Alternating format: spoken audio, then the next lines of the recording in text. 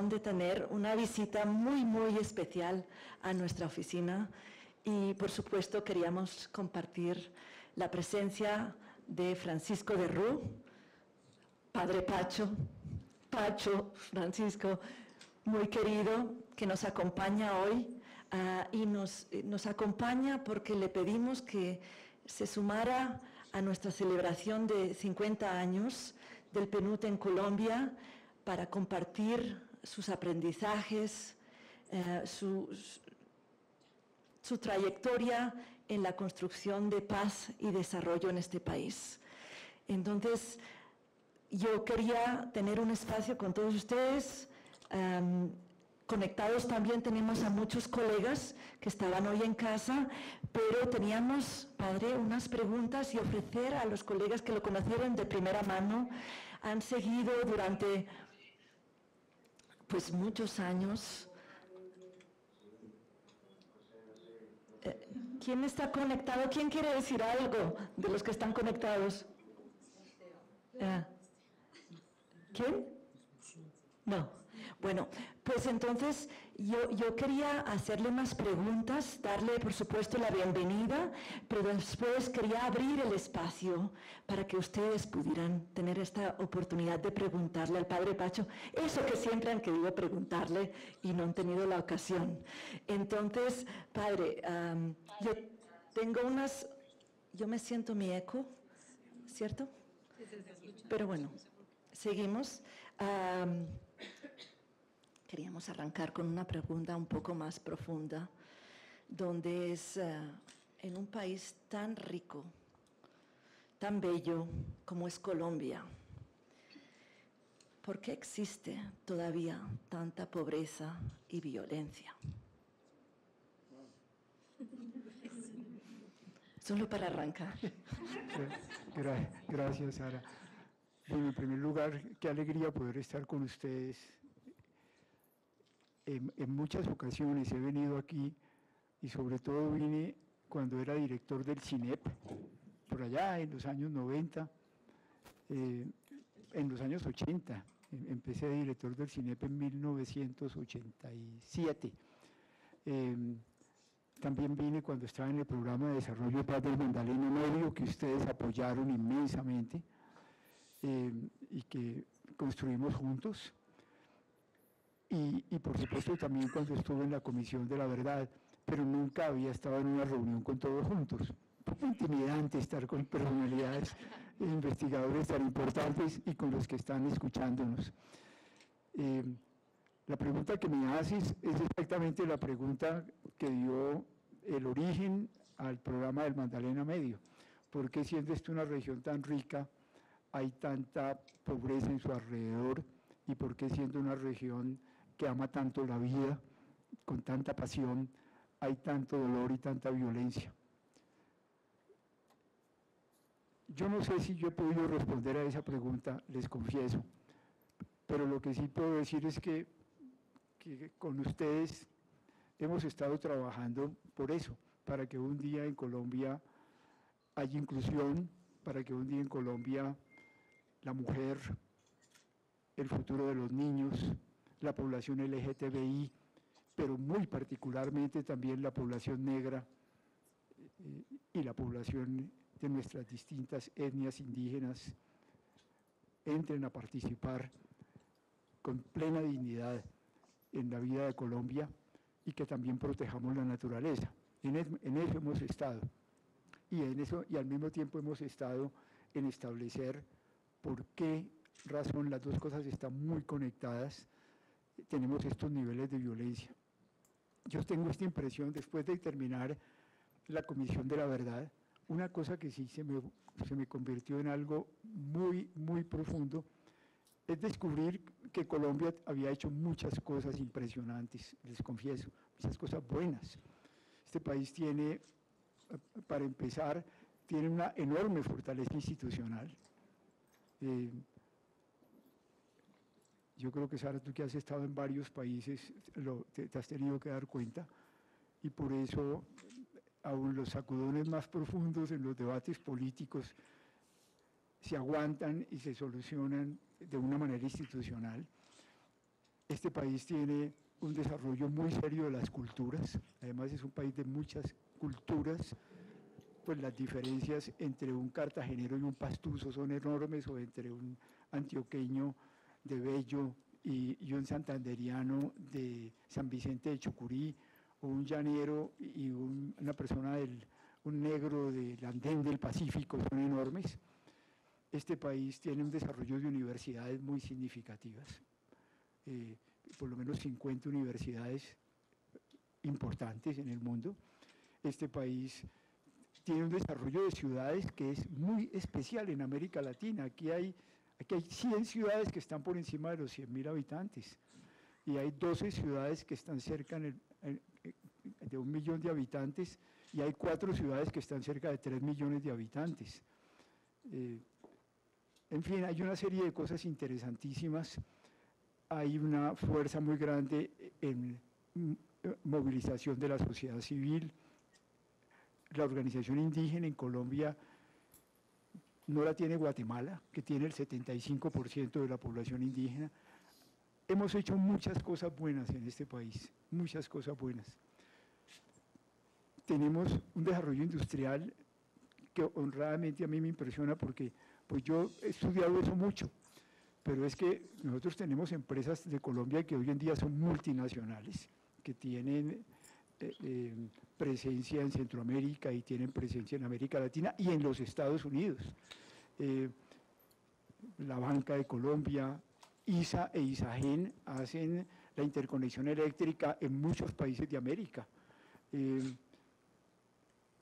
pero la pregunta tremenda es, todo eso lo hemos hecho y lo hemos hecho sobre un mar de sangre. Este es el problema de fondo. Esto lo hemos construido sobre un mar de sangre que es también único en el continente y una de las crisis humanitarias más grandes del planeta.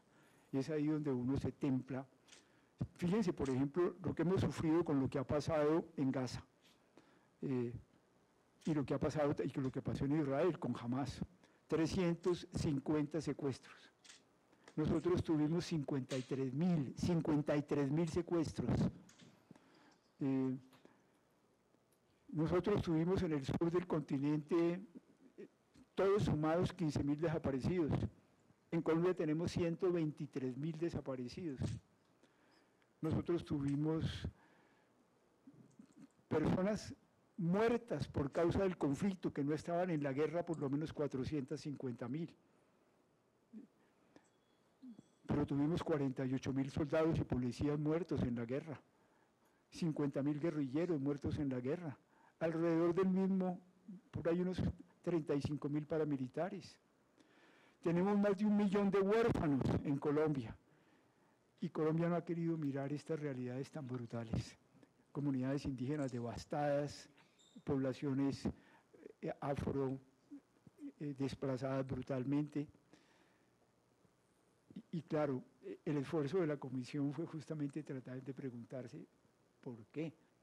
Y entonces encontramos cosas como pues el desarrollo, la falta de presencia diversificada del Estado por los territorios, el no haber construido un país de regiones, porque este país era un país de territorios. Este país, con toda seguridad, se hubiera manejado mucho mejor en una manera, en una manera eh, federación, federal, fue la famosa guerra de los supremos, que ustedes recuerdan que se perdió, y perdida la guerra se hizo la constitución conservadora eh, del siglo XIX. Pero por lo menos hubiéramos podido tener un país algo semejante a España, ¿verdad? Con, distintas nacionalidades o, o, eh, ¿cómo se llaman? Gracias.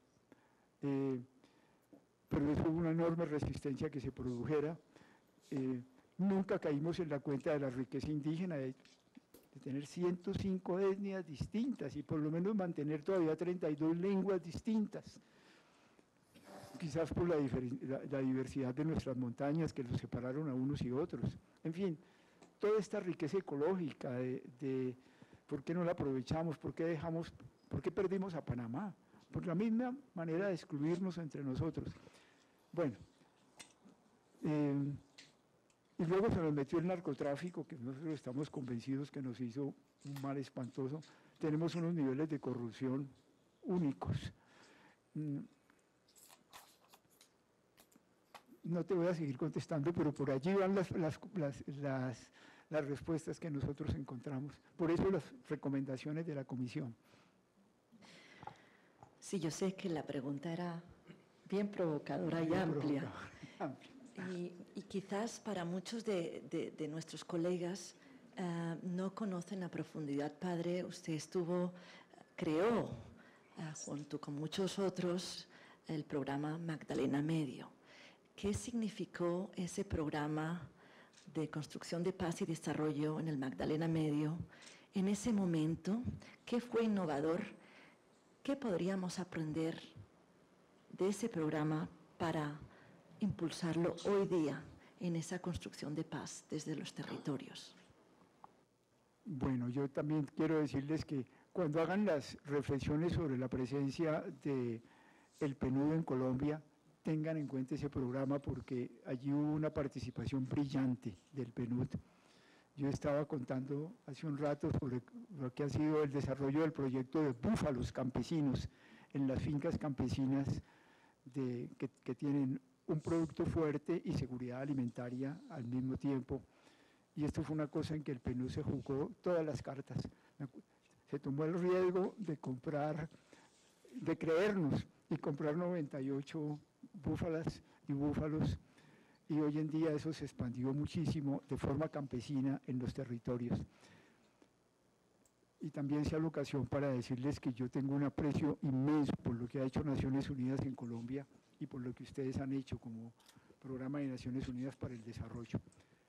Lecciones de esa, de esa experiencia, que el desarrollo hay que construirlo desde los territorios, que los territorios no son los departamentos, no son los departamentos, la configuración departamental de Colombia es totalmente artificial y no corresponde a las culturas que realmente consolidan a los pueblos como tales, ni a las unidades ecológicas, que es muy, muy importante tenerlas en cuenta porque cuando usted logra ver una unidad ecológica, usted tiene suelos semejantes, tienes, tiene aguas semejantes que tienes que proteger, y tiene suficiente espacio para poder no solamente desarrollar una masa económica fuerte con todo el mundo, sino también para lograr una protección de la naturaleza amplia que te garantice bosques para todos, aguas para todos, eh, eh, eh, territorios para todos, y entonces sí puedes hacer un plan de ordenamiento territorial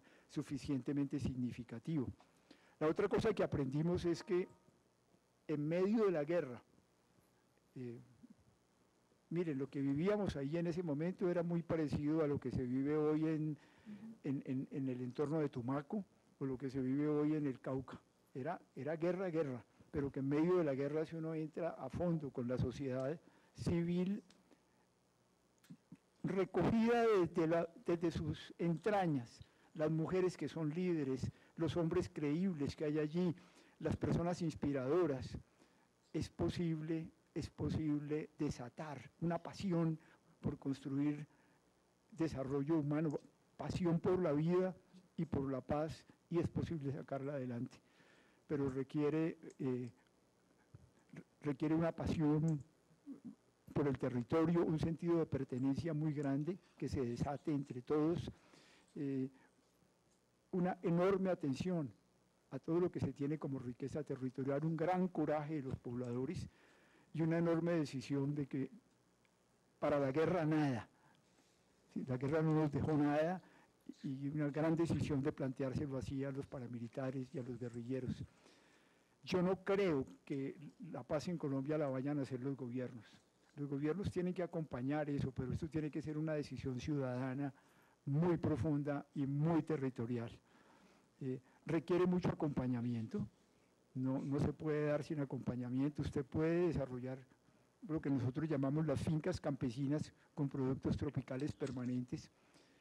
Los campesinos aprenden, pero los campesinos necesitan eh, un acompañamiento muy riguroso. una vez que entienden cómo es la cosa, no los para nadie, eh, como ha pasado con la coca. Les costó trabajo aprender, pero una vez que entienden, se vuelven unos grandes productores comerciantes, transformadores tecnológicos impresionantes, pero lo mismo pasa con los demás productos. eh, pero el acompañamiento tiene que ser todo el tiempo eh, y es muy importante tenerlo. Y que tampoco se hace desarrollo con, pequeñas cosas. Yo me acuerdo que, que USAID tenía programas de desarrollo en esa época en el Magdalena Medio y, y los programas de ellos consistían primero en solamente hacer desarrollo donde no haya coca, en municipios donde no haya coca. Si hay algo de coca, no hay desarrollo. Segundo, podemos hacer programas con fincas campesinas, pero lo máximo que le vamos a dar a una finca, y con eso tienen que hacer el proyecto, es un millón de pesos colombianos. Eso es una falta de respeto. Una, una finca campesina buena, que, hoy hay que invertirle 100 millones de pesos. Lo que pasa es que, lo que, pasa es que de tal manera tiene que hacerse el,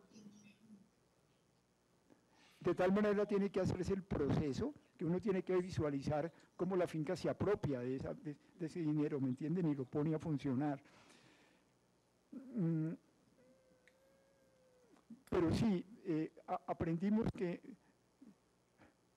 a propósito, eh, el sentido de pertenencia. Eh, es decir, nosotros somos de esta región, ¿verdad? Los indígenas nos lo enseñaron mucho el territorio no nos pertenece a nosotros, nosotros pertenecemos al territorio y por eso tenemos que cuidarlo y tenemos que protegerlo. Y lo que alguno de ustedes decía hace un rato, estas cosas ya se hicieron en Colombia. Y, nos olvidamos y vienen otros gobiernos, después vino pues el gobierno de Uribe que fue muy fuerte, curiosamente, y tengo que decir que al principio Uribe apoyó mucho lo que estábamos haciendo pero luego pues vinieron cosas muy complicadas con Uribe. Eh, no, no, quiero entrar en detalle porque no me interesa ese debate, pero, pero estas cosas podemos perfectamente activarlas en Colombia en forma. Jorge Iván González, que estaba en el CINEP, fue uno de los inspiradores, aunque él no vino a vivir al Magdalena Medio, pero fue uno de los inspiradores del desarrollo regional con el que se hizo el Magdalena Medio, y del Magdalena Medio salió la Red Pro de Paz, del cual Ángela ha sido aquí una de las, fue una de las, de las movilizadoras, la red de programas de desarrollo y paz eh, en el país, que hoy en día creo que son 24, ¿verdad?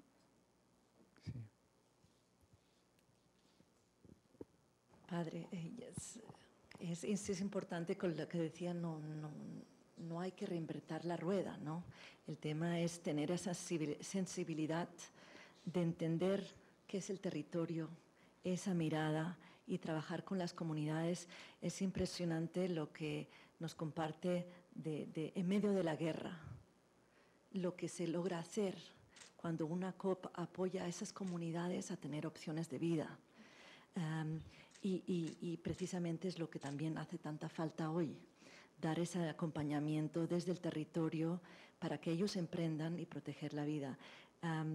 nos comentabas hace un rato también ese tema, y yo creo que para estos colegas es muy importante, todos nuestros colegas, la diferencia entre autoridad y poder en el territorio. No nos confundamos y en el centro está la sociedad civil, que son la dignidad.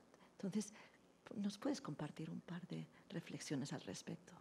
Sí, estábamos conversando eh, para, la, para la gente del Magdalena Medio, lo primero que se logró fue establecer un, un mapa territorial, pero los mismos pobladores lo fueron haciendo cuando fueron señalando cuáles eran los pueblos vecinos que no podían ser excluidos de una concepción de región y fueron audaces, metieron 29 pueblos de cuatro departamentos distintos, pero se sintieron que ellos realmente formaban una comunidad cultural en medio de matices, pero que el futuro de todos estaba simultáneamente comprometidos en medio de la guerra que tenían por todas partes. Y por eso se dieron cuenta que el primer propósito que llevaban en el alma era cuál era la vida que ellos querían vivir en ese territorio. Todo el mundo comprendido, las mujeres, los hombres, los pescadores del río, los trabajadores de la montaña, los campesinos, los empresarios, y cómo iban a proteger esa vida. Y en esto, una cosa que se desarrolló muy rápido fue el sentido de ciudadanos que ellos tenían y cómo estaban rodeados realmente por actores que eran ilegales. Al principio se tenía mucho miedo, porque los actores, como hoy en día, trataban, habían buscado y habían logrado en muchos lugares verdadero control territorial. Y por eso nosotros al desplazarnos por el territorio y las comunidades, al viajar en el territorio, se encontraban continuamente retenes, retenes de las FARC, retenes del ELN, retenes de las Autodefensas Unidas de Colombia, allá estaba Macaco y estaba Julián Bolívar eh, y estaba Ernesto Báez, eran hombres muy importantes, y estaba Ramón Izaza, eh, y al mismo tiempo estaban los militares, y los militares en una forma muy ambigua, porque fueron militar, militares que se cruzaron mucho con el paramilitarismo, total retenes por todas partes. Pero la gente aprendió, y aprendió en el territorio a que si nosotros nos encontramos con un retén de eso, no vamos a obedecer. Fíjense en lo que esto, esto significa que había que acompañar a la gente en los caminos para que esto fuera posible. Yo estaba contándoles un episodio en, Puerto Wilches, un día que venía yo de San Pablo, que queda abajo del Magdalena, bajando el Magdalena, más o menos a unos 60 kilómetros del Magdalena río abajo. Era un domingo y la chalupa la paró en Wilches e inmediatamente los paramilitares la detuvieron. Estos eran paramilitares vestidos de militares, pero con el letrero de las AUC y nos sacaron a todos y dijeron, vamos a registrarlos y ustedes tienen que mostrarnos la cédula. La gente estaba muy asustada, entonces yo tomé la iniciativa porque eran cosas que habíamos conversado y dije, no, aquí ninguno de nosotros se va a dejar registrar y la cédula no se la vamos a mostrar a ustedes. Ustedes son ilegales, nosotros somos legales. Ustedes tienen poder para matarnos porque tienen armas, nosotros no tenemos armas, pero ustedes no tienen autoridad. Si nosotros les reconocemos autoridad a ustedes y les obedecemos, destruimos nuestra dignidad de ciudadanos. Tráiganos, tráiganos a un soldado o a un policía y con mucho gusto les mostramos las cédulas, pero ustedes no. Yo les contaba que inmediatamente uno de los paramilitares me cogió a mí del hombro y me dijo, venga, usted lo llevo inmediatamente al patrón. Pero otro que estaba ahí, que, porque a mí me conocían en la región, le digo, cuidado que ese es el padre. Entonces, inmediatamente los tipos pararon y, y, nos respetaron y nos dejaron entrar a la lancha. A propósito, ese día la lancha siguió, cuando llegó enfrente de Barranca Bermeja, yo pedí que la lancha parara porque quería hablar con el comandante de la Armada, 15 eh, kilómetros abajo, o arriba, arriba, arriba. Y, el comandante me recibió y le dije, comandante, ¿cómo es posible que aquí, aquí cerquitica, en, en, Puerto, en Puerto estos tipos estén haciendo eso, en una mañana de domingo, a la vista de ustedes. Al día siguiente, él sacó un titular en Vanguardia, que es el periódico de la región, en que decía, el padre de Ruth se presentó aquí a denunciar que habían amenazado su vida. A mí me molestó mucho, entonces yo me fui a buscarlo. Le dije, a mí no me han amenazado nada. Yo nunca he puesto una denuncia por cosas mías están amenazando a las instituciones, que usted tiene que defenderlas. Eh, pero esas cosas hay que planteárselas a las autoridades y a los paramilitares y a la guerrilla. Y nunca permitir que la agenda del territorio, nunca, la cojan los sectores armados. Eso no se puede permitir.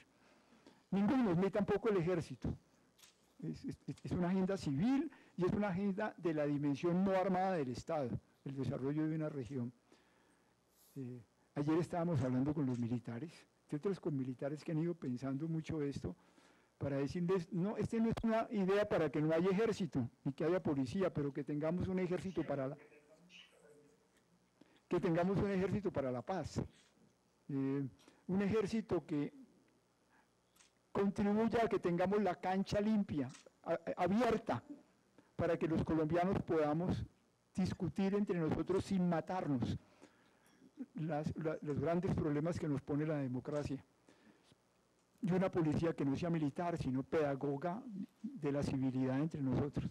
Pero yo veo que los militares, después de cosas muy duras que les pasaron, paramilitarismo y falsos positivos están más abiertos a, a entender estas cosas. Gracias, Padre.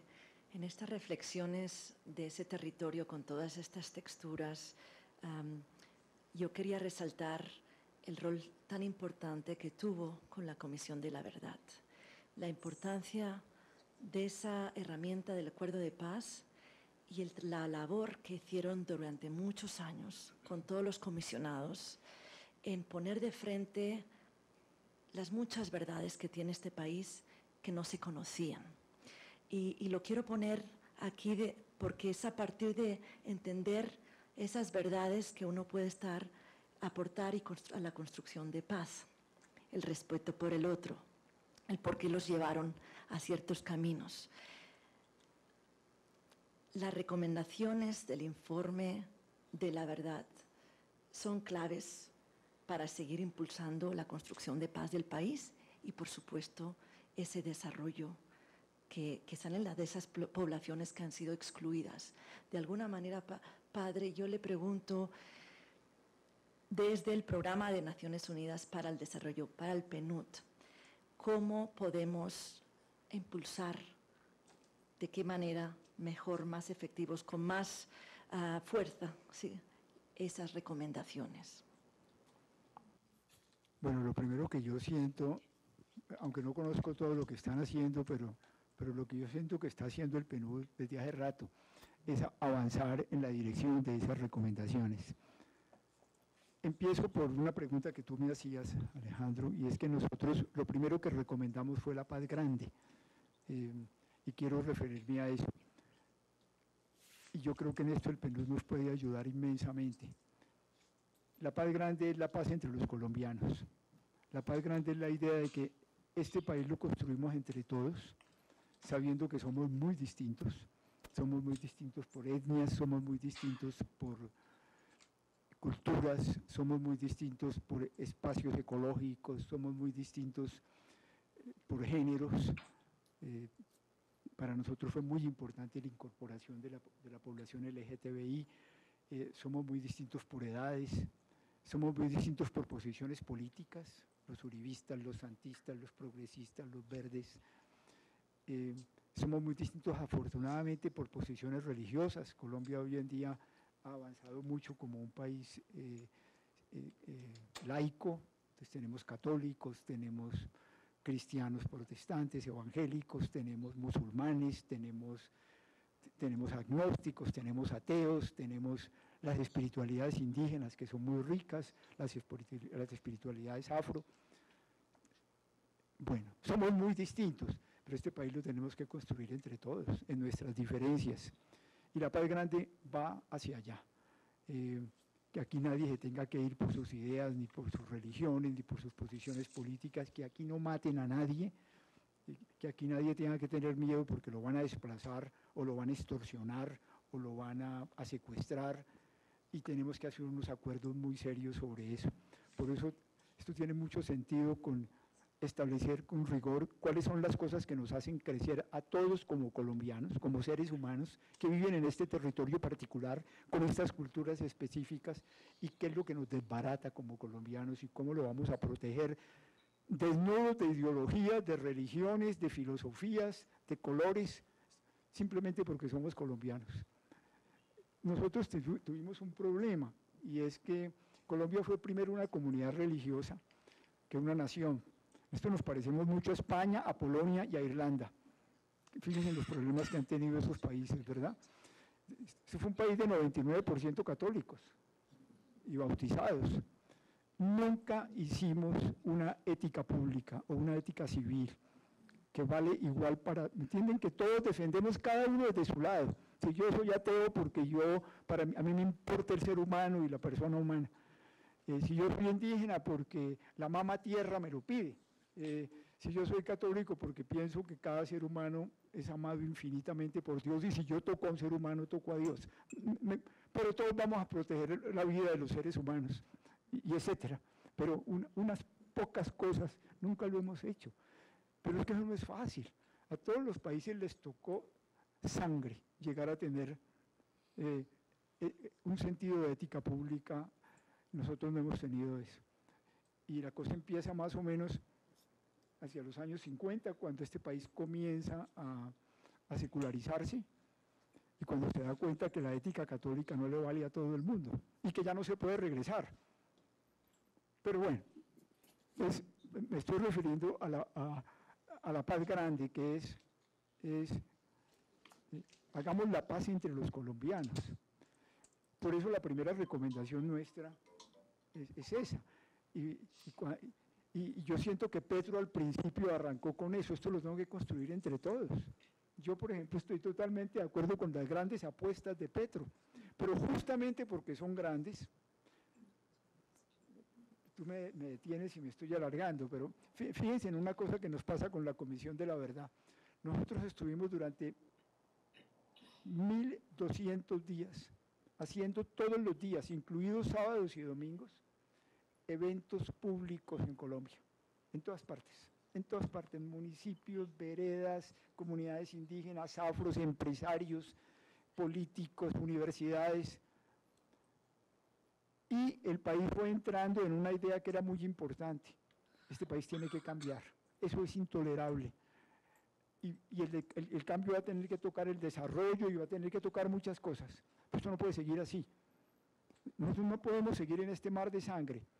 Eso fue tan fuerte que cuando se hizo la, ustedes habrán pensado en eso, cuando se hizo la primera vuelta de las elecciones, el año 2022, fíjense que los colombianos escogieron a los dos candidatos que decían yo ofrezco el cambio, se salieron de los demás partidos. Rodolfo Hernández dijo el cambio es acabar con la corrupción y se ganó la mitad de los votos. Y Petro dijo el cambio es hacer la paz total, el cambio un gran sentimiento que eso hay que aprovecharlo, un gran sentimiento, este país tiene que cambiar. Ganó Petro, fue también más o menos la mitad de los votos más, 50 mil votos más.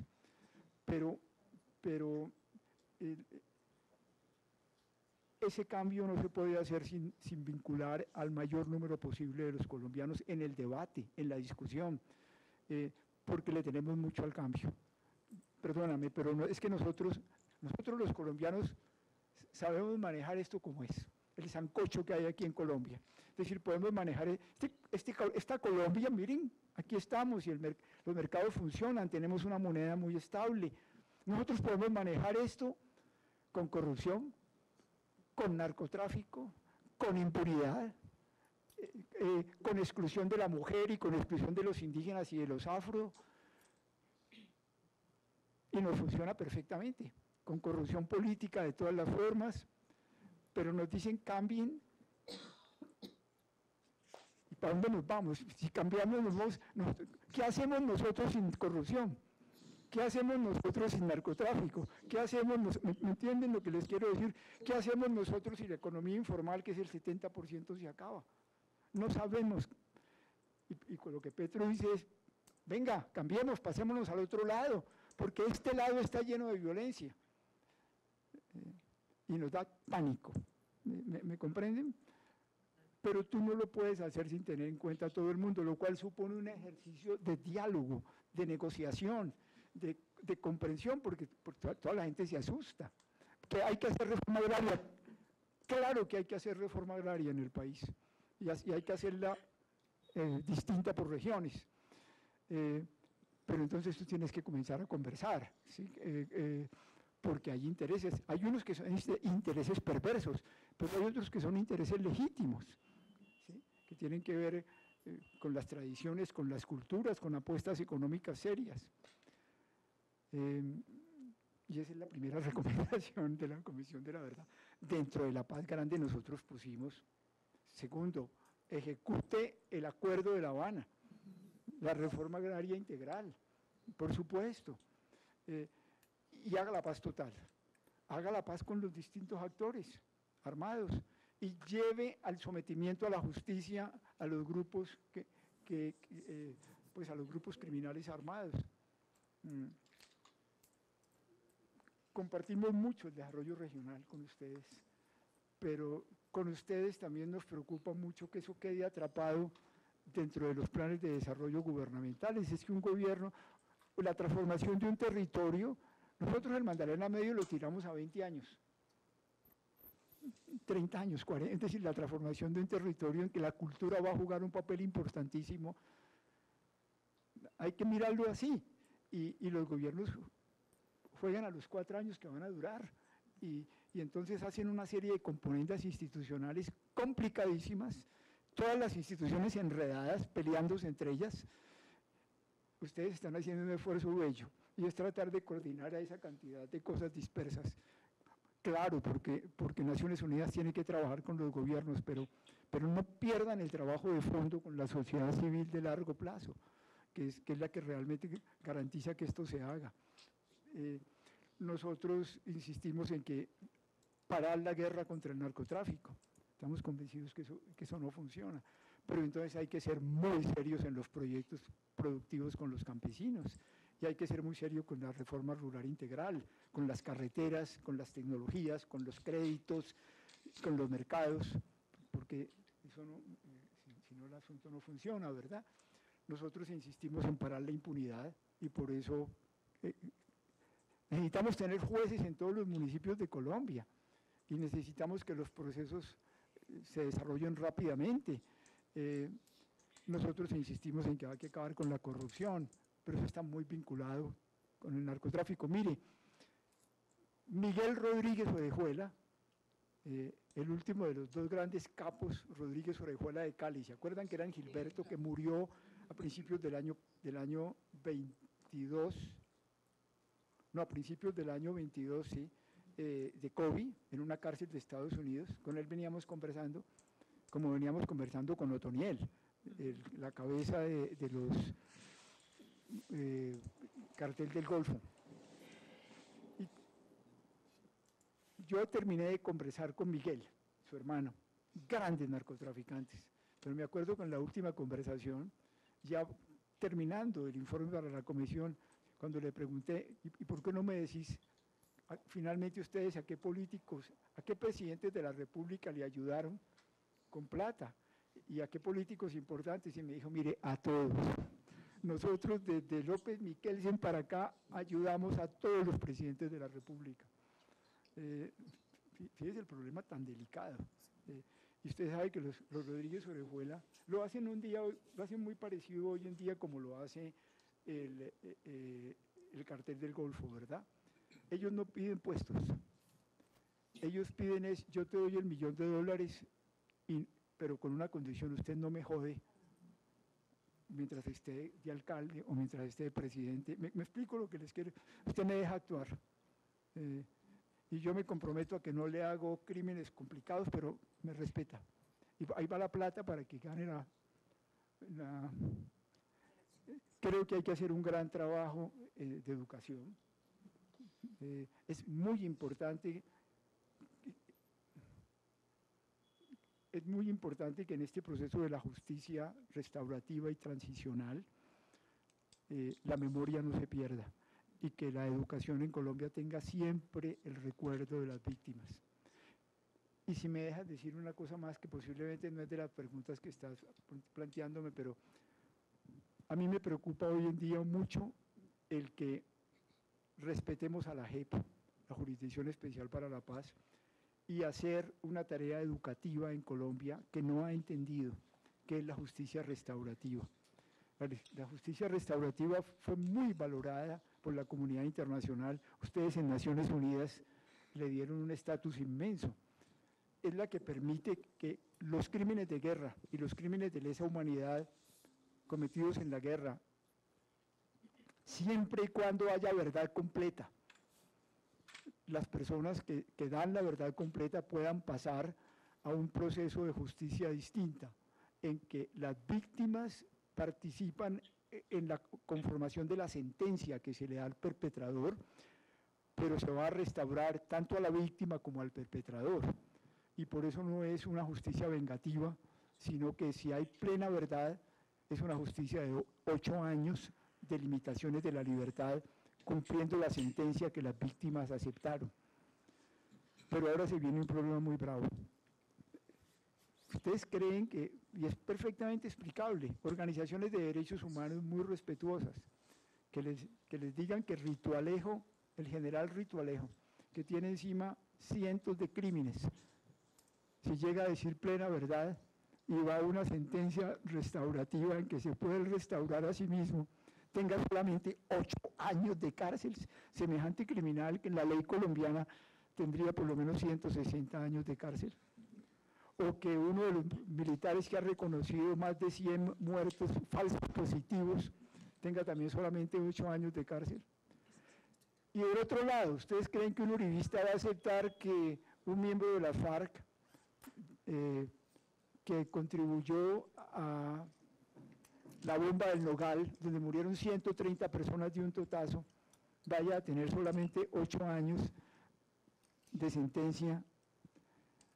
Eso solo es explicable si la gente entiende la justicia restaurativa. Es un esfuerzo de los colombianos, porque de ahora en adelante nos propusimos comprender que todos y todas en alguna forma somos responsables de lo que pasó en el conflicto y queremos que esto se acabe. Y por eso a quienes estén dispuestos a, a convertirse en luchadores por la paz, todos restaurados, vamos a proceder de esta manera.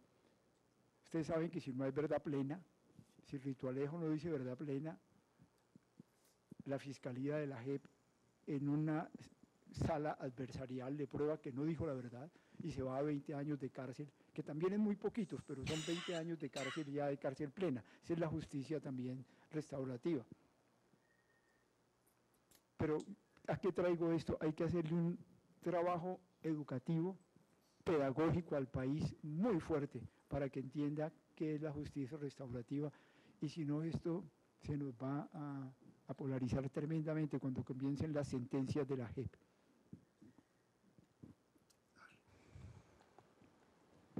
Con estas grandes reflexiones, sí me gustaría, Padre, eh, y también pensando en el que hacemos cada día, ¿no? cada día acompañando varias, eh, las comunidades, las instituciones, la responsabilidad tan grande que tenemos como programa de Naciones Unidas para el Desarrollo. Realmente nos ayuda muchísimo estas reflexiones, el por qué, dónde poner la atención, pero sí me gustaría abrir el espacio a los colegas.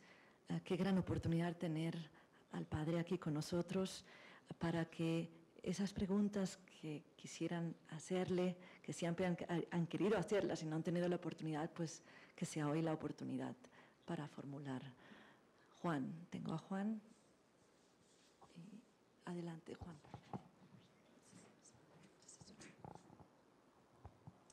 Gracias, Sara. Eh, Pacho, un gusto de nuevo. Yo quería primero, pues, eh, preguntarte y compartirte un reto que tenemos quizás este año desde el área de paz acá en el PNUD, y es un poco renovar la narrativa de la paz. Eh, digamos que nos dimos cuenta que, que el discurso de la paz puede ser modificado para atraer a otros tipos de públicos o de audiencias que, eh, digamos, están o desinformadas eh, en este tema o desinteresadas, digamos, dependiendo de, de, sus convicciones y de sus inclinaciones políticas. Y dos de estas audiencias son los y las empresarias y también los jóvenes. Mi pregunta es, ¿cómo crees tú con base en tu experiencia, con base en tus vivencias, que le deberíamos hablar a estas dos poblaciones y cómo crees tú también que eh, el discurso, la narrativa, los mensajes de paz se podrían renovar? Eh, gracias Juan, muy buena pregunta. Y, y una pregunta para que busquemos juntos, ¿verdad? Yo sí creo que hay que renovar el discurso sobre la paz, en eso tienes toda la razón, e incluso en muchos escenarios el discurso sobre la paz es polarizante porque pues inmediatamente dicen la paz es una cosa de, las FARC y de Santos, eh, el proceso de paz perdió el plebiscito, eso no se lo respetó, eh, eh, las instituciones que surgieron de, de, ese proceso de paz son ilegítimas, entonces hay que encontrar otros caminos. Yo creo que expresiones como la convivencia en los territorios, la reconciliación entre los colombianos, son muy constructivas. Una que me parece que es particularmente movilizante es estos odios, estas tristezas y dolores tan hondas estos rencores que tenemos de lado y lado entre los colombianos y que por la tradición nunca resuelta entre nosotros de, la forma como aprendimos a solucionar las cosas matándonos, no puede seguir. Pensemos en el futuro de los niños de Colombia y en el futuro, en el futuro de ustedes, jóvenes. Para decirle a los jóvenes, ustedes no son responsables de lo que pasó subjetivamente, ustedes no estaban allí. Eh, eh, cuando llegamos a, sobre todo a los niveles de la guerra dura, en los tiempos de la mayor descomposición de la guerra.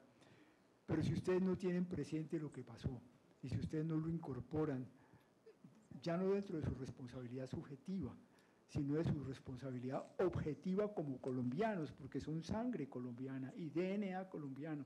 Si ustedes eso no lo incorporan, ustedes lo van a repetir. Y yo creo que en esa dirección hay que, hay que actuar. Yo sí creo que hay que hacer un discurso muy, muy fuerte contra la guerra, pero muy duro. Y hay que ser muy claro, por ejemplo, con el Ejército de Liberación Nacional. Yo en eso soy, es que conozco muy bien al ELN. Esas ideas de ellos, como lo puede mantener todavía la nueva Marquetalia y en alguna forma gente de la disidencia de la FARC, eh, de que nosotros somos defensores del pueblo, de que nosotros hemos tomado las armas para defender al pueblo contra la oligarquía. Hay que ser muy claros. Eso es mentira. Ustedes saben que no van a conseguir el poder en Colombia, que la guerra en Colombia, eso hay que tenerlo muy claro. Posiblemente en las ilusiones de los años de las revoluciones de Nicaragua y de El Salvador y la revolución cubana, hubo unos momentos de mucha inspiración, pero ya hace mucho rato en Colombia, desde los años 80, que aprendimos, y cuando se configuró la Unión Patriótica, que aprendimos que la guerra no nos dejó nada. Eh, y, y en eso hay que ser muy claros. Ustedes los que tomaron las armas pensaban que con la guerra nos iban a dar justicia social, reforma agraria, superación de las exclusiones, y la guerra produjo exactamente lo contrario. Acrecentó eh, el monopolio sobre las tierras, generó más radicalización eh, eh, polarizada de los paramilitares, destruyó la posibilidad de una izquierda democrática y trajo otra cosa que fue terrible, y es que el Estado colombiano, en lugar de responder con, con la soberanía del Estado para buscar una solución pacífica, inmediatamente se metió en la misma guerra y entonces nos vimos metidos en esta cosa de que la solución era con guerra. Hay que ser muy claros en eso. Y hay que decirle a los del ELN, lo que ustedes están haciendo es un crimen. La guerra en Colombia del ELN, un día de guerra del ELN en Colombia, un día de guerra de las disidencias de la FARC, un día de guerra de, la nueva Marquetalia, es un crimen. Ustedes saben que no van a conseguir nada con eso. Y saben que un día causa muchas víctimas en Colombia. Me comprenden, hay que, hay que ser muy claro con eso. Eh, además, porque yo pienso que siendo ellos revolucionarios, como se dicen, y los amigos del pueblo, el pueblo colombiano está pidiendo en todas partes, por favor, no más eso. Paren esa guerra de todos los lados y, y, busquen una salida negociada, eh, detengan las armas. En eso sí, sí, sí, en eso me gusta, por ejemplo, mucho la, la, la, encíclica del Papa La Fratelli Tutti, que seguramente ustedes se la, se la, han leído. El que mata a un ser humano es como si hubiera matado a toda la humanidad. Eh, la guerra fue un fracaso en todo el mundo, eh, un fracaso de la política, un fracaso del diálogo y un fracaso del ser humano. En eso yo creo que tenemos que ser muy fuertes. Y creo que los jóvenes le pega, cogen duro eso de, para la guerra nada, o ese mensaje de las mujeres que están bellos, nosotras no parimos hijas y hijos eh, para, para la guerra, sino para la paz.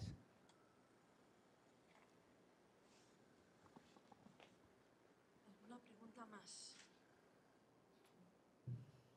No, no me lo puedo creer. Nos dan, ah, nos dan. Bueno, yo sí que... Eh, luego no me digan. ¿eh? Luego no me digan.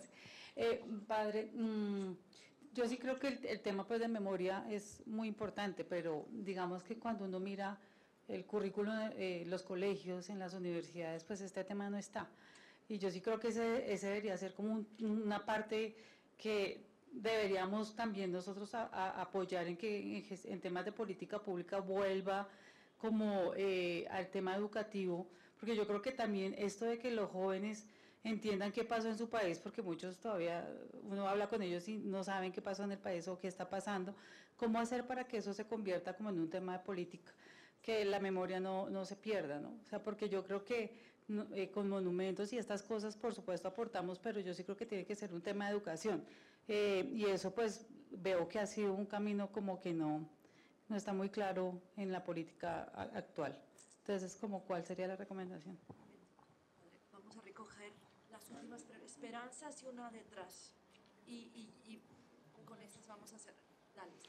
Padre, gracias. Eh, yo quisiera que, eh, no sé, nos dieras como algunas luces o nuevas recomendaciones, porque nosotros trabajamos con víctimas del conflicto armado hace muchos años y resulta que este país se acostumbró a las víctimas. Son el 10% de la población del país y a todo el mundo le aburre el tema y le cansa, ay, qué pereza las víctimas, qué cansancio las víctimas. ¿Cuándo se sentirán reparadas las víctimas? Eh, hacemos muchas cosas, pero siempre tenemos que seguir pensando qué hacemos para visibilizar las víctimas, qué hacemos para que siga siendo sensible este país al dolor de las víctimas que siguen y siguen sufriendo. Y con las dinámicas del conflicto hay más víctimas. Gracias, Padre. Y la última es Rebeca. Hola. Ay, estaba fuertecito. Muy buenos días, padre. Eh, desde su experiencia, ¿qué podemos hacer frente a la exacerbación de la violencia, principalmente en territorios étnicos? Eh, lo que hemos estado viendo en estos días, el recrudecimiento de la violencia, la muerte de líderes sociales, especialmente los pueblos indígenas. Sabemos que estas poblaciones han tenido históricamente una afectación diferencial eh, en relación con el conflicto armado. Entonces, ¿qué podríamos hacer? ¿Qué medidas se pudiesen tomar desde su experiencia? Gracias. A ver si puedo decir una cosa para cada una de las tres preguntas que son muy buenas. En la parte educativa y para colocar en el mundo de la educación lo que hizo la Comisión de la Verdad y todo el acumulado de conocimiento que hay sobre el conflicto armado en Colombia.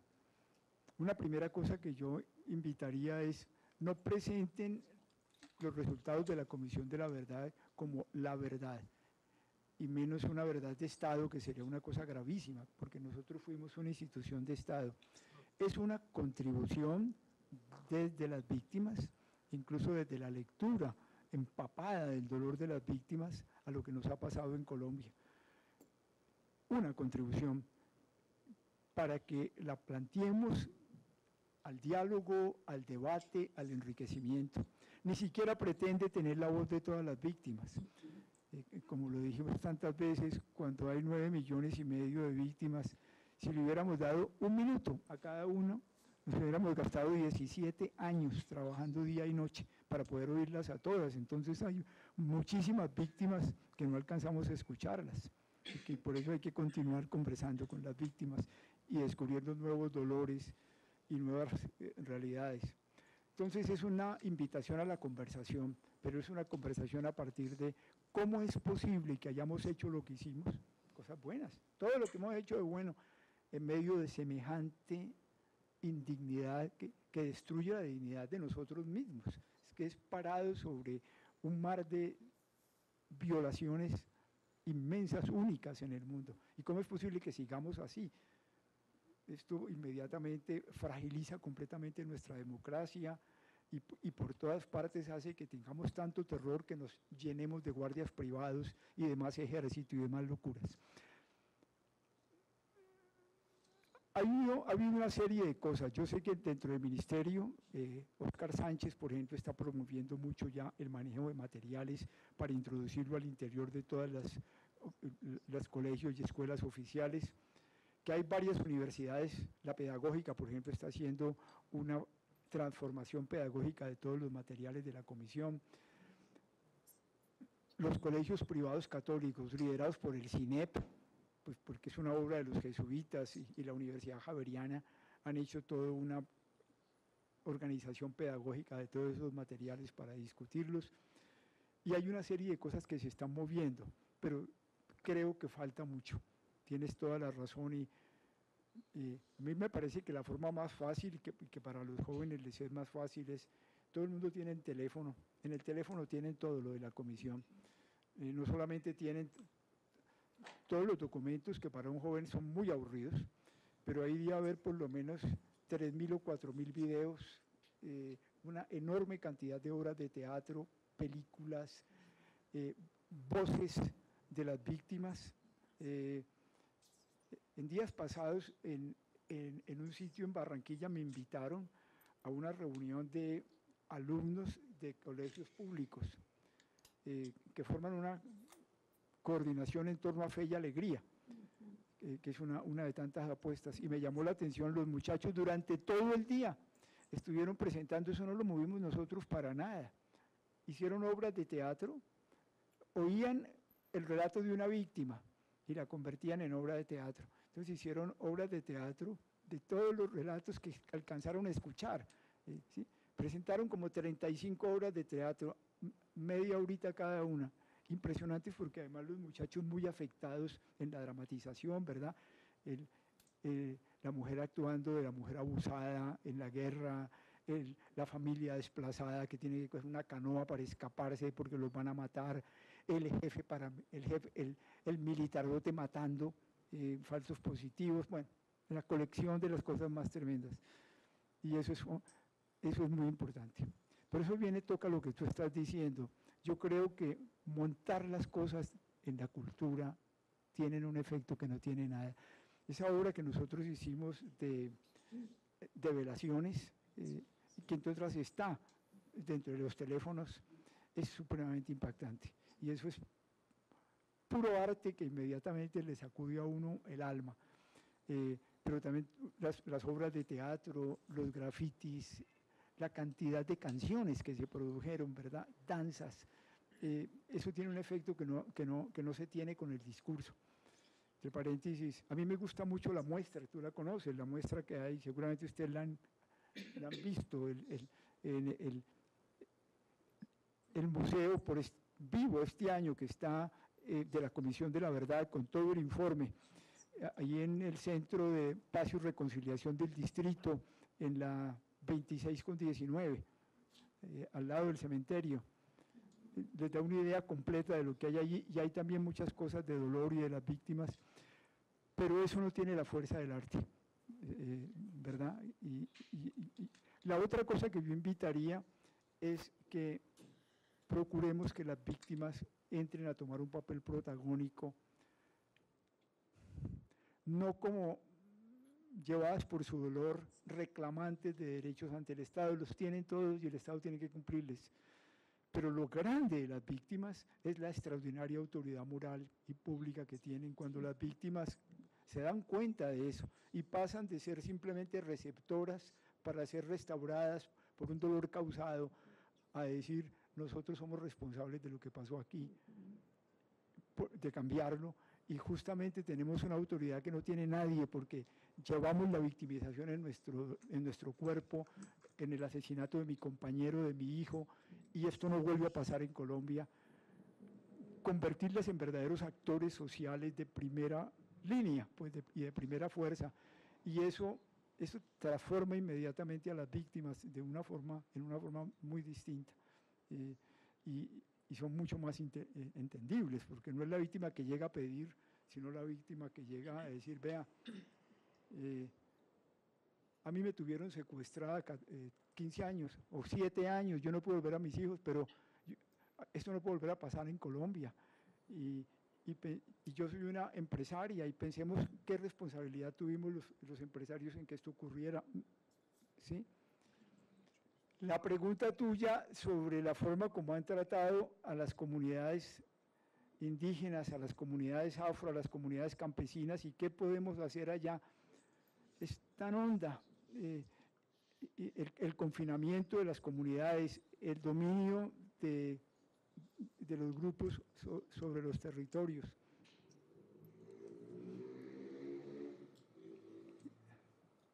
Yo el único camino que veo realmente eficaz es acompañar eh, con personas de altísimo reconocimiento nacional. Eh, y en eso la iglesia puede jugar un papel muy importante. A ir y acompañar a los líderes locales y con esos líderes locales salirle al perpetrador a una conversación humana. Eh, por lo menos para detener las locuras que están haciendo mientras el país avanza en, en diálogos de paz, porque hay que parar el asesinato de las personas y la, el encierro de las comunidades. Bueno, no, no, no, quiero eh, profundizar, pero tocas un punto delicadísimo, delic- dolorosísimo. Bueno, Padre, ya solo me queda que agradecer profundamente contar con su presencia, con esta reunión. Un honor tenerlo aquí en este espacio y hacer todas esas preguntas. Y teníamos una pequeña, un pequeño regalo para agradecer su presencia. Perdón. ¿Qué vídeo? Ah, ah, espera, espera. Van a pasar un vídeo, quieren mostrar algo y luego yo... Es que me salta el guion.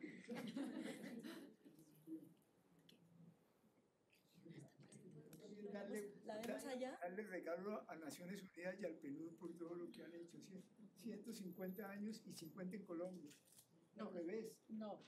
50, este es, este es el PNUD, solo son 50 años en Colombia. Sí, por eso. Estoy diciendo. Ah, 150 años de Naciones Unidas y 50 en Perú. 50, 50 Colombia. 50 Colombia. Sí, sí. 50 Colombia.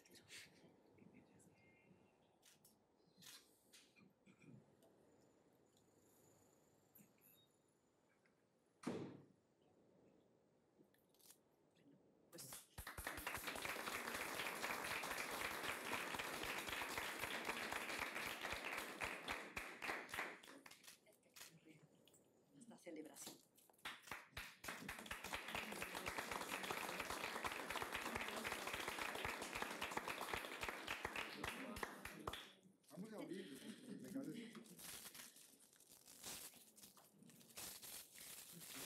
Les agradezco muchísimo. Gracias por el video. Eh,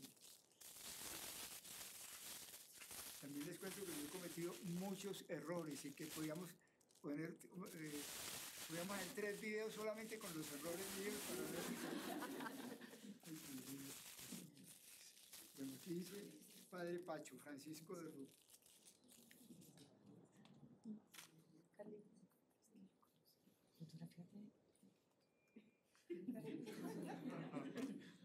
¿Hay truco? Charlie, vaya de re- Ya- yo ya lo tenía que haber abierto antes. ¡Wow! ¿Qué es hace esto. Bárbaros, se pusieron a hacer esto. Gracias.